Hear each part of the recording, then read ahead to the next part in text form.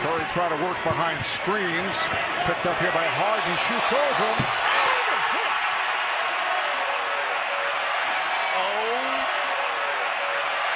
Oh. This is where Harden needs to be aggressive. Five on the shot clock. Paul has to force one. Eight three-quarter multiples hit three threes. And Chris Paul going into the body of Steph Curry. And a little uh, answer from Chris. Capela comes up top. Screen Green. Paul fires and hits the three. so they can stop the clock to get David West out of the game. I mean, this is a double shot pump. And look at J.J. Watt and J.T. Timberlake.